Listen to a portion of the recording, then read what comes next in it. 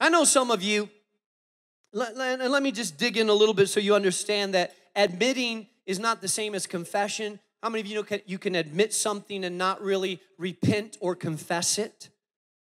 Just because you've admitted that you're angry doesn't mean you've dealt with your anger.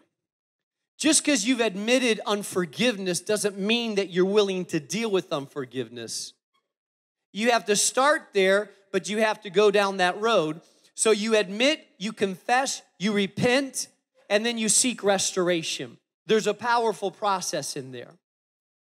By the way, it is God who he cleanses us from our sin and we confess to other people not to receive cleansing from our sin, but we confess to other people to receive healing of our souls. When I confess to another person, it brings about healing, not cleansing.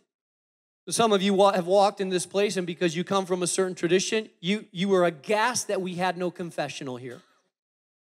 And you're saying, Where's the box? Because I came loaded. We have no confessional here.